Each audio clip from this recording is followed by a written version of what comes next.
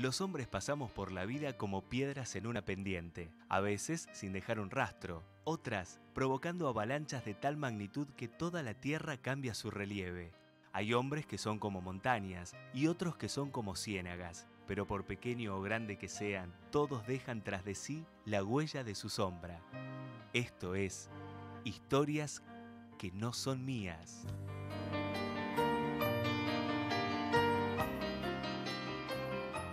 Buenas tardes, muy buenas noches de jueves. Aquí estamos en Historia que no son mía. Hoy con un invitado de lujo, un tipo muy querido por todos nosotros, por esta casa. Es Enrique Cruz, eh, periodista que ha recorrido el mundo, pero eso lo va a contar seguramente después. Vamos a arrancar hablando con él desde su nacimiento. ¿Cómo estás, Enrique? Un gusto, Juanca. La verdad que es un placer para mí. Muchas gracias por, por lo de lujo. No, pero gracias por tu tiempo para No, venir y, sabemos que estás a las corridas, estás preparando eh, este viaje al Mundial de Qatar, pero de eso lo vamos a hablar después.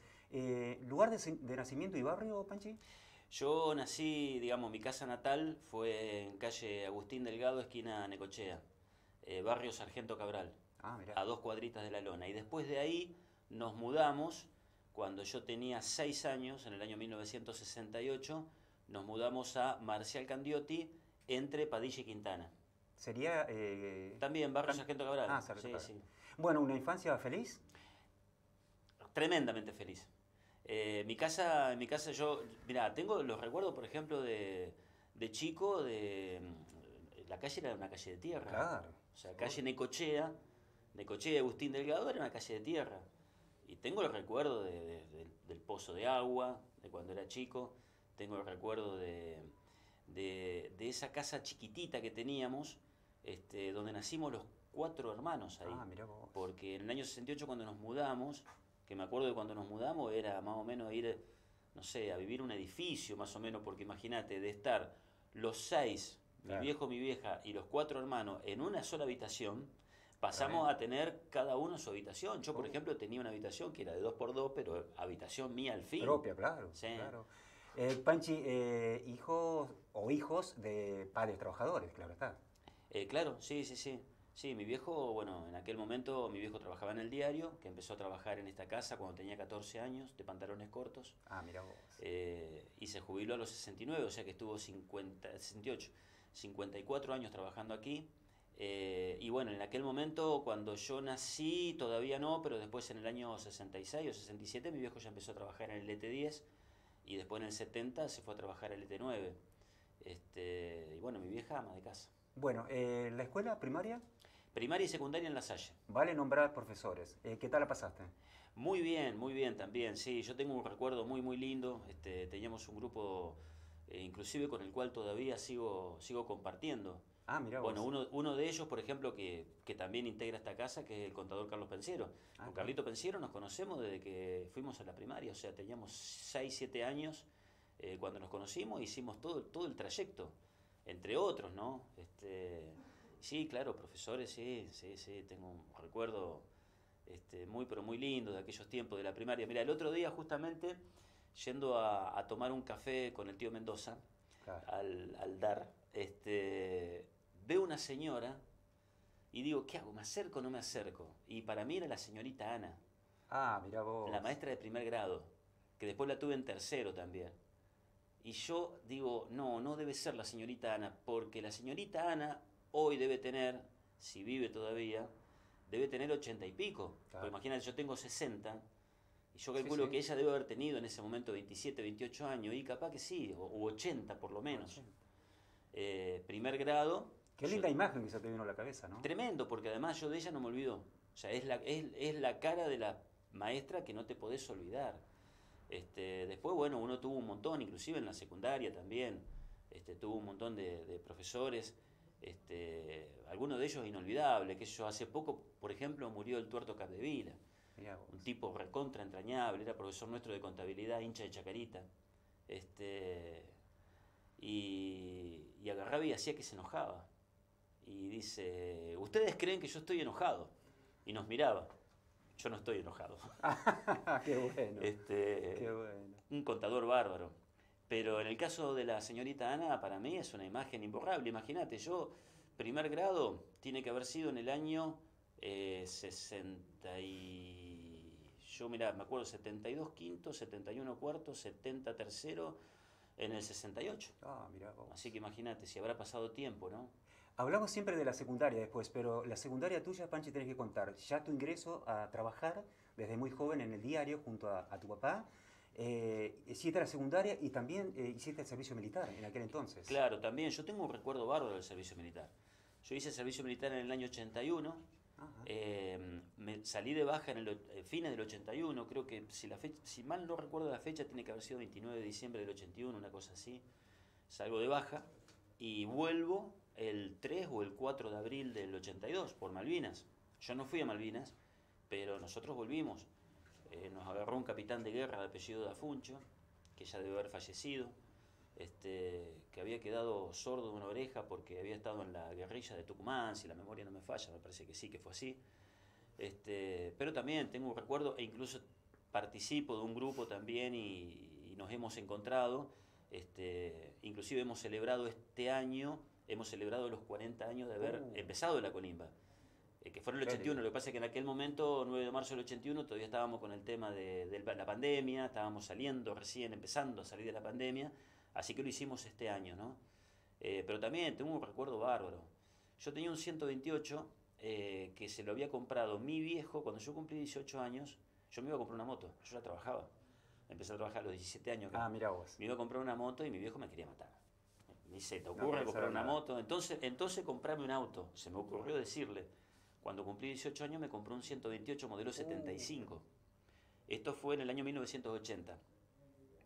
Eh, so pretexto de, nosotros venimos todos en escalera los hermanos, ¿no? Entre yo que soy el más grande y mi hermana más chica, que es Cecilia, nos llevamos apenas 6 años de diferencia. Estamos los, los cuatro en 6 años, ¿no? Exacto. Entonces yo empezaba a salir, mis hermanas también salían, imagínate, tengo una hermana que nació un año y medio después que yo, y tengo otra que nació un año y medio después que mi primera, mi Oh. primera hermana mujer. Claro, claro. Entonces veníamos todos ahí, estábamos todos ahí nomás, estamos todos ahí nomás. Sí, sí.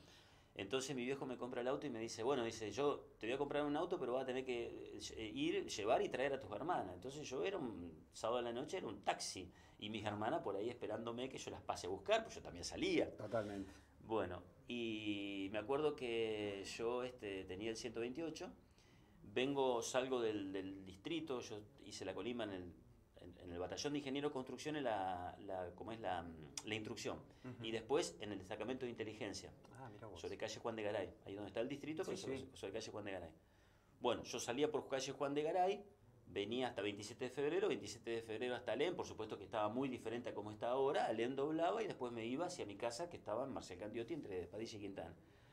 Yo paro el auto y yo no sé si me abataté o si eh, es una de las pocas veces que choqué, que en realidad me chocaron. La cuestión es que yo estaba parado en el semáforo de eh, Alem y 27 de febrero y un camión prácticamente me pasó por encima. Pero literalmente me Ah. pasó por encima. Es decir, el camión arrancó, ni, me de- ni debo haber visto el El 128 auto, ahí claro. abajo y, y yo, yo no arranqué. Entonces, este, atrás mío estaba, el en ese momento era el sargento primero Estecar, que lo quiero mencionar porque la verdad el tipo Sí, claro. agarra y me dice, soldado Cruz, dice, usted quédese acá. Y salió con el auto de él. Me lo trajo de una oreja. Lo El, trajo de cami- el camionero se fue. Claro. Se fue. Me lo trajo, literalmente, eh, de una oreja, me lo trajo. Así que bueno, ahí nomás arreglamos, qué sé yo. Yo no me acuerdo si me pagó, si no me pagó, si hicimos este a través del, ¿cómo es? Del, Del seguro. Te estoy hablando del seguro, Claro. estoy hablando de hace 40. Que ver si había seguro en uno y otro y toda esa historia en aquel entonces. sí. Eh, el lugar de salidas y después la, la- la llamada de la formación de tu familia propia, ¿no? Sí, sí, bueno, yo este, me casé con mi ex en el año 1987, tengo dos hijos, Agustín, que nació en el 88, y Sofía, que está a punto de recibirse de veterinaria, le falta Ajá. una materia, este, así que, que nació en diciembre del 92, está por cumplir 30 años. ¿Lugares de salida, te acordás? ¿Boliches Ah, los lugares de salida, Eso, sí, bueno, los clubes. Clubes. Sí, ¿Ah? nosotros, yo era mucho de los clubes. En aquel momento, este, seguramente quienes, quienes más o menos andan por mi edad, este, y que, que salíamos finales de los 70, principios de los 80, recordarán los bailes de Banco Provincial, Ah. Ban- Bancario, decíamos nosotros, bueno, el country, eh, gimnasia y regatas. Mirá Esos vos. eran los cuatro lugares. Banco Provincial, el country, gimnasia y regatas. Además de eso, bueno, he ido a Villadora porque más estaba en el barrio. Y después había un par de, de, boliches que en ese momento estaban de moda. Uno de ellos era Discotec, San Martín, eh, San Martín hacia el sur. Yo la verdad que no me acuerdo si era San Martín entre... Para mí era entre Moreno y, y Saspe, y Monseñor Saspe, que en ese momento era Buenos Aires. Después estaba Estudio 54, para mí era si no era San Martín y Corriente, era San Martín y Moreno, pero ahí andaba. Este, seguramente quienes están viendo el programa se deben acordar, ¿no? Seguro. Eh, pero, pero fundamentalmente los clubes. Enrique, bueno, el, fuerte tuyo, eh, por quien siempre dedicaste parte de tu vida, que, es, que fue tu trabajo, tu segunda casa, el litoral, ¿qué significa? Eh, ¿Qué renglón en tu historia ocupa el diario? Y fundamental, sí. Bueno, vos lo dijiste, mi segunda casa. Yo aprendí a gatear acá adentro. Yo aprendí a gatear acá adentro. Yo me acuerdo del Mundial del año 74, el Mundial de Alemania 74. Eh, yo tenía 12 años. Y yo venía, mi viejo venía a ver los partidos acá, porque por la diferencia horaria, los partidos se jugaban de noche, era la tarde, ah, acá. Entonces este, mi viejo me traía el diario, me llevaba, mejor dicho, al diario. El diario estaba en San Martín, entre Eva Perón y Rioja. Y yo me ponía a escribir a máquina, este, teniendo 12 años. 12. Y, y bueno, y sí, fue, fue sin duda que fue, sin duda que fue mi segunda casa. Este, yo la verdad que lo siento al diario como, como una parte este, fundamental, trascendente, no solamente de mi vida, sino de mi historia familiar también, porque imagínate, mi viejo, mi viejo arrancó de cadete con pantalones cortos y terminó, bueno, cuando tuvo el ACB, él era el jefe de publicidad, el gerente, gerente comercial prácticamente del diario. Así que, y yo, yo toda mi vida en deporte, porque yo arranqué en el año 79, 27 de diciembre del 79 fue mi primer día de trabajo. Yo me había llevado tres materias en quinto año, termino de rendir mi última materia el 23 de diciembre y el 27 de diciembre empecé a trabajar, o sea, cuatro días después de haber terminado la escuela, yo ya algo, algo, alguna colaboración hacía en el diario. Pero mi primer día de trabajo fue el 27 de diciembre del 79 y siempre en deportes, siempre estuve en deportes. En, ese momento el jefe de deporte era Armando Lombardi, quiero nombrarlo porque un tipo, la verdad, un fenómeno. Un fenómeno. todos son unos fenómenos. Armando Lombardi, Cacho Roteta, fenómeno, Cacho. Un fenómeno. Chichín Raviolo, del que aprendí un montón. Chichín, mira, Chichín eh, me mandaba a mí a cubrir un partido, ¿no es cierto? Entonces me decía, el sábado, por ejemplo, jugaba Colón el sábado de la tarde contra el Porvenir. Me decía, ¿querés hacer gol y comentar el partido? Sí, Chichín, como vos quieras. Bueno, al otro día de la mañana llegábamos al diario, él era jefe de deporte, y por él había ganado Colón 3 a 0 con dos goles de Chena. Entonces nos poníamos a tomar un café y me decía, ¿y qué te pareció el partido? Y le digo, ganó bien Colón, ¿te parece? Oh. Sí, chichín, escuchame, 3 a 0. ¿Y quién fue la figura? Y Chena hizo dos goles. Ah, si lo único que hizo fue, fueron dos goles nomás. ¿Por qué lo hacía él a eso? Porque quería ver hasta dónde yo podía sostener el argumento que yo tenía, digamos, el concepto que yo tenía, a ver cómo lo, lo, lo, lo no solamente que lo, reafirmaba, sino que además cómo lo sostenía. ¿Cuál era mi, mi, personalidad para decir, no, yo, Colón ganó bien y, Chena fue la figura y te lo voy a discutir a muerte? Eh, aprendí muchísimo de fútbol con él. Tipo, la verdad, un tipo que además de eso tenía, eh, era muy purista en la forma de ver el juego. O sea, él analizaba el juego de una manera muy, muy pura, digamos, iba a lo táctico, a lo estratégico. Este, y la verdad que aprendí mucho de fútbol con él, como aprendí mucho de fútbol también con los técnicos, que en ese momento estaban en, Santa Fe. Yo, por ejemplo, logré, este, logré conocer al, al, gitano Juárez. El gitano, cuando el gitano en el año 80 había vuelto a Colón, este, ya estaba en la parte, ¿cómo te podría decir?, casi final de su vida, porque el gitano creo que murió en el 83 u 84, y sentarse a hablar con el gitano, la verdad era... Era un placer. Era un placer y aparte uno aprendía mucho de fútbol. Eh, Panchi, te quedas un rato más, vamos a hacer una pausa y enseguida regresamos. Le dije, le conté, íbamos a tener una muy rica historia y falta toda la parte de los mundiales que va a ser la segunda. Quédese con nosotros.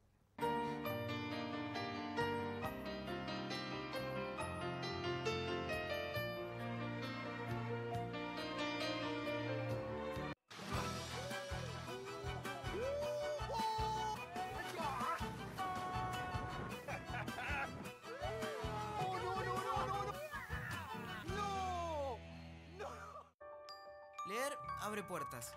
Desde una simple página podemos descifrar un misterio. Estos universos esperan por nosotros. Leer abre puertas. El libro lo hace posible. Consejo Publicitario Argentino.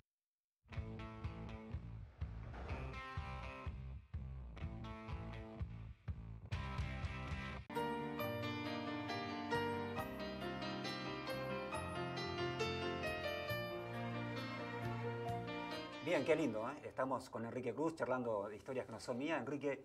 Me eh, encanta el nombre del programa. Está sí, bueno, está sí, bueno. sí. Sí, Alfredo. González, gran escritor de Santa Fe, colonista al hombre. Ajá. Este, ha escrito Él te lo sugirió. Me lo sugirió, sí. Ah, es más, es muy bueno, sí. este, todo planificado con él. Eh, tenés para contar de los mundiales, no un libro, 50, pero contanos un poco cómo llegás y cuál fue tu primer mundial y decime qué relación tuviste o qué llegada tuviste con Diego porque estuviste ahí, hiciste notas, eso es importante. Bueno, eh, con relación a los mundiales, este es el quinto. Voy a, a ver, lo digo con un poco de, digamos, de... No es altanería esto, No, ni, ni claro. tampoco soberbia, porque además no, me- no, no me destaco por esto. Totalmente. Pero sí con mucho orgullo puedo decir que eh, paso a ser el periodista de, la ciudad de Santa Fe con más mundiales cubiertos. Eh, porque hasta ahora era Ricardo y yo, con cuatro, Ricardo Porta, ¿no? Y que debe ser en lo único que lo voy a poder superar. Y, este, y ahora sí yo paso a ser el periodista con más, con más mundiales cubiertos, el quinto. El primero fue el Mundial de Francia eh, en el 98, Ujú. el segundo fue el Mundial de Sudáfrica 2010, el tercero fue el Mundial de Brasil 2014, el cuarto el Mundial de Rusia 2018 y ahora este. este con relación a Maradona, mirá, yo, yo le hice eh, tres entrevistas a Maradona. La primera fue en la cancha de Unión. Un día que Unión juega con Argentinos Juniors, un jueves a la noche, Ajá. el partido sale 2 a 1. Le patea tres tiros libres a Pumpido Diego. Los tres fueron al ángulo. Uno pegó en el ángulo. El otro fue gol y el otro lo sacó Pumpido, sacó Ah, la pelota a Pumpido. Uno a favor de Neri. Ganó Unión 2 a 1 ese partido. No le fue bien a Maradona jugando acá en Santa Fe. Ah, no mirá le fue vos, bien. qué detalle, ¿no? Ganó, ganó ese partido con Boca en cancha de Colón, pero no le fue bien. Eh, esa fue la primera vez que le hice una nota. Esto fue en el año 80, yo tenía 18 años y Diego tenía Uh. 20, 20, o sea, cumplía 20 ahí. La segunda nota este, es muy particular porque se la hago en Sydney, el día del regreso de él, después del 5 a 0 que nos comimos contra los colombianos, Colombiano. que ahí el Coco Basile lo convoca. Vamos a jugar a Sydney y empatamos 1 a 1 y después en la revancha le ganamos 1 a 0 con el gol de Bati. Allá en Sydney el gol de Balbo, este, centro de Maradona. Ese día había un gran, había un gran quilombo con, con la prensa escrita. Entonces este, no éramos muchos los periodistas que estábamos. Había un lobby grande en el hotel. No, no, era, no era así, no era una especie de lobby, sino que era una especie de sala de sesiones, ¿viste? Ajá. Bueno, y, y hace una conferencia Basile, Basile como está Samerlo, que era el ayudante de campo. Y estábamos todos los periodistas ahí, que no éramos muchos, debemos haber sido 8 o 10. Y en un momento yo agarro y escucho que alguien dice, alguien quiere hablar conmigo y me doy vuelta y era él. Uh, Entonces vamos, un periodista de Córdoba y yo. Yo llevaba una carta que le había escrito Miguel Torre del Cel, muy amigo de Diego. Entonces el periodista de Córdoba le hace un par de preguntas y quedo yo mano a mano con él. Entonces le digo, mira Diego, le digo, yo soy de Santa Fe, le, le doy la carta, uh, a la abre así, uy, Miguelito, Miguelito, uno sabe qué amigo, Miguelito. dice, bárbaro. mira, te voy a contar una cosa, dice, yo lo iba a ver a Calle Corriente, viste que él venía de una suspensión. Yo iba a ver a Calle Corriente, entonces hacíamos él de un lado de la calle y yo del otro, dice, hacíamos que nos tirábamos pelotazo de un lado No, al otro, te viste, todo creer. con mímica, ¿no? sí, sí, sí. Bueno, y entonces este, hacemos la nota. En la nota él me dice dos cosas que hubiesen sido noticia a nivel mundial. Él me dice, con Ruggeri vamos a arreglar la capitanía eh, encerrados en una pieza, mano a mano los dos. Dice, y Redondo, si quiere seguir jugando en la selección, primero va a tener que hablar conmigo. Imagínate esas dos frases Hoy. hoy con, con los celulares Sí. y con viste y con que vos lo publicás en la web e inmediatamente explota hoy hubiese sido ahí quedó publicado en las páginas del litoral y nada más Y nada más. nada más porque no Claro. existía Claro. no existía internet en ese momento por lo menos acá no existía internet y la última vez fue precisamente en Rusia en Rusia nosotros Argentina queda eliminado en cuartos de final en, perdón en octavo de final y, y nosotros nos quedamos. Entonces, imagínate, había que llenar dos, dos semanas prácticamente de competencia y empezamos a gestionar la nota con, con Maradona, a través de Víctor Hugo Morales. Él estaba trabajando junto con Víctor Hugo para una cadena venezolana. Entonces, este, me acuerdo que nos dice Víctor Hugo, vénganse al Radisson Ucrania. O sea, Radisson es una cadena de hoteles, ese Radisson se llamaba Radisson Ucrania. Bueno, vamos al hotel y nos hacen pasar al piso donde estaba la habitación, donde hacía la nota con Diego, y por ahí viene Diego caminando. Todo esto había, ya eran como las siete y media de la tarde, hacía una hora que lo estaban esperando. Se había costado dormir las 7 y le pasó de largo. claro. Entonces dice, muchachos, dice, ustedes son los que los periodistas que después van a hablar conmigo, dice, dice, ¿ustedes me pueden esperar un ratito que tengo que hacer la- el programa? Y yo le digo, Diego, le digo, te esperamos toda la vida, no te hagas ningún problema, Claro. tuyo tranquilo, que nosotros de acá no nos movemos. Bueno, y cuando salió, eh, yo ahí por ahí tengo una, una foto este, de, con él, nos estamos matando de risa porque la verdad, este, una predisposición total a esta vez, Ahí esa está. foto. Este, así, así estuvo todo el tiempo que estuvo con nosotros. Qué una maravilla. predisposición total. Esa foto es para un cuadro, además. Pero viste, sí, una cosa increíble. Fíjate la sonrisa de él y la sonrisa mía. Sí, sí, sí. sí. Este, bueno, la verdad estaba con una predisposición total y bueno, la pasamos muy bien ahí, la verdad que muy bien. Para nosotros fue muy emocionante, la verdad el tipo tiene, yo digo tiene porque Maradona para, para mí no murió. Este, el tipo tiene una, una digamos, este, una, un poder de seducción, una, una forma de, de- de- de hacer que lo quieras. Este, y bueno, por lo que hizo dentro de la cancha ni hablar, ¿no? Siempre brilló con luz propia, de eso no hay ninguna duda. Exactamente, es un tipo que, que brilla con, con luz propia. sí. Eh, Panchi, preguntarte por todos los mundiales, no. Quiero que me cuentes de, de este de Qatar, porque después tengo que preguntarte de, de tus compañeros de los sábados, del fútbol y algo más de deporte. Pero digo, eh, qué lindo, estás organizando ya para viajar Sí. este, ahora en noviembre a Qatar. Eh, es muy difícil esta, en esta oportunidad, ¿no? Se hace siempre cuesta arriba, es bastante complicado, pero te vas. Sí, mira, la verdad, viste, uno no, no sabe, en- en- en- digamos, este, qué es lo que va a pasar dentro de un minuto en Claro, este país. Exacto, exacto. Está todo realmente muy, muy complicado. Este, es un país eh, que, digamos, este, bueno, yo no me canso de decirlo. Qatar, la, la decisión de, de nombrar a Qatar como sede del Mundial fue lo que motivó la investigación de la FIFA, el FIFA Gate. Claro. Este, Qatar no es un país que tenga tradición futbolera No, y no es un país grande. Entonces, este, entre un, entre, ojo, la vamos a pasar bárbaro porque entre un esta, entre los dos son nueve estadios, de los cuales entre los dos más lejanos hay 45 kilómetros. Oh, Imagínate, imagínate nueve estadios de acá hasta Coronda. Y ahí están los nueve estadios. Yo he llegado a viajar 1800 kilómetros para ir a ver un partido de Argentina. En el Mundial de Rusia, por ejemplo, cuando nosotros nos fuimos a Kazán este, a ver el partido de Argentina con Francia, viajamos durante 18 horas en un, en un tren. Claro. Acá, a lo sumo, son 20 minutos en un, en un subte o no sé con qué nos vamos a encontrar allá, porque Claro. imagínate que es un país con muy avanzado, ¿no? Bueno, eso y, y además las costumbres, eso va a hacer que vivamos un, un mundial muy distinto.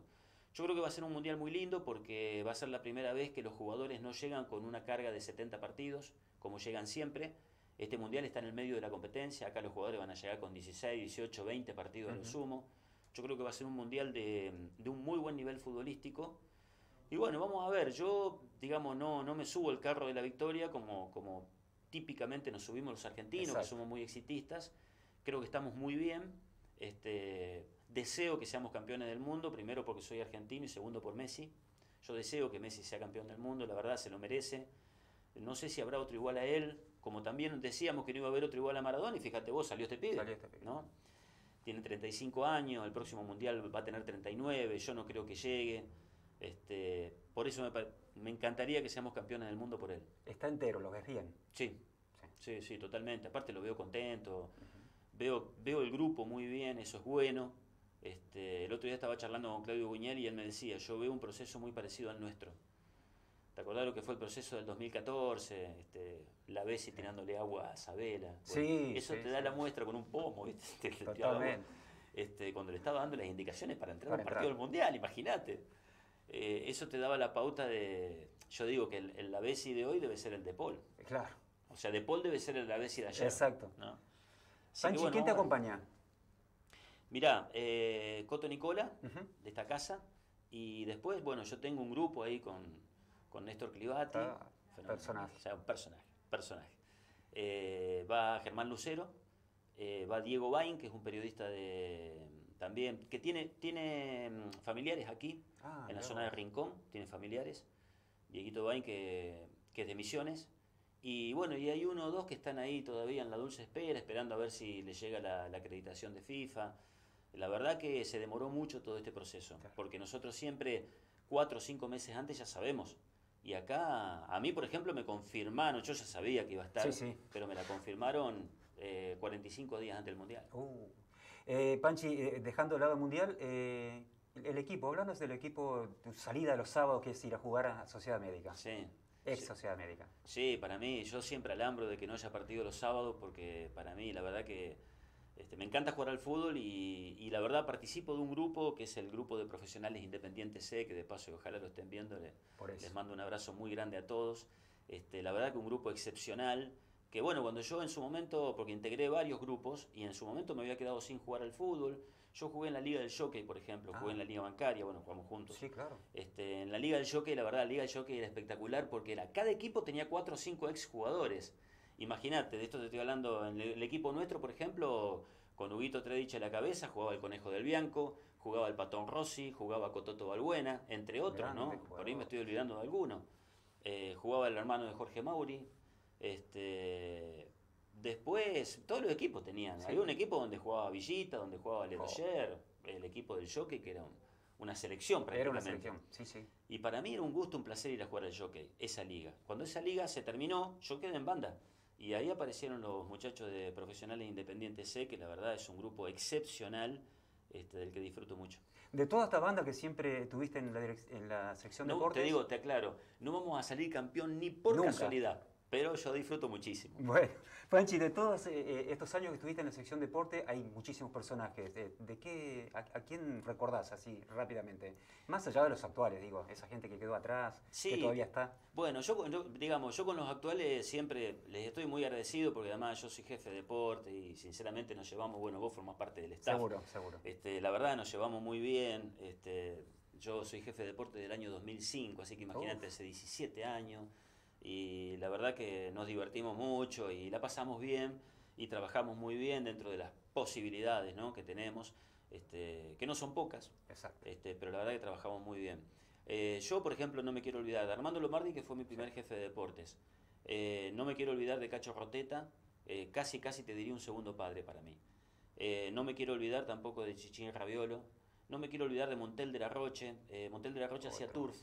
Pero. Montel todos los días me decía, eh, pibe, vení conmigo. Y me llevaba al taller, este, al taller donde se armaban las páginas con plomo. Oh, Por ejemplo, los que trabajaban en el taller a los cincuenta y pico de años se jubilaban por, por trabajo insalubre, porque ellos estaban respirando plomo todo el día. claro. Así que, viste, los pulmones no, no le aguantaban, cincuenta y pico de años ya se, se jubilaban. Ah, mirá vos. Este, y la verdad que, bueno, este, y, y qué sé yo, te nombro ellos eh, en primera instancia, Chichi Raviolo, no sé si te lo mencioné, Sí, sí, sí. Este, que fueron, fueron los tipos que me fueron, bueno, Juan Carlos Romano, Otro más. el papá de Marcelo, eh, el sordo romano, la verdad, un tipo sensacional también. Este, yo me divertía muchísimo con él. Yo el lugar donde iba me sentaba al lado de él porque, porque era despansarse de la risa. Y las anécdotas que contaba eran excepcionales. Totalmente. Además era, era un tipo que este, vos, sabés que te- vos sabías que te sentabas, eh, te tomabas un vino o dos con él y era reírse desde el momento en que nos sentábamos al momento en que nos parábamos para irnos. Panchi, no tenemos más tiempo. Tu lugar en el mundo. Mirá, mi lugar en el mundo eh, es casi te diría que en un mismo nivel Santa Fe y Mar del Plata. Ahí está. Pero Mar Eh, del Plata, Mar del Plata es una ciudad que amo Sí. y yo no descarto en el día de mañana, eh, no sé si terminar mis días en Mar del Plata, eh, uno nunca sabe cuál es el final, ¿no? Pero, pero sí Mar del Plata, prácticamente alternar Mar del Plata con Santa Fe. Me encantaría. Panchi, muchas gracias por tu tiempo. No, al contrario, Juanca, un gusto, un placer de haber estado aquí. Ahí está, les dije, historias que no son mías hoy con Enrique Cruz. Quedó un montón en el tintero. No va a faltar oportunidad. Muchas gracias por acompañarnos.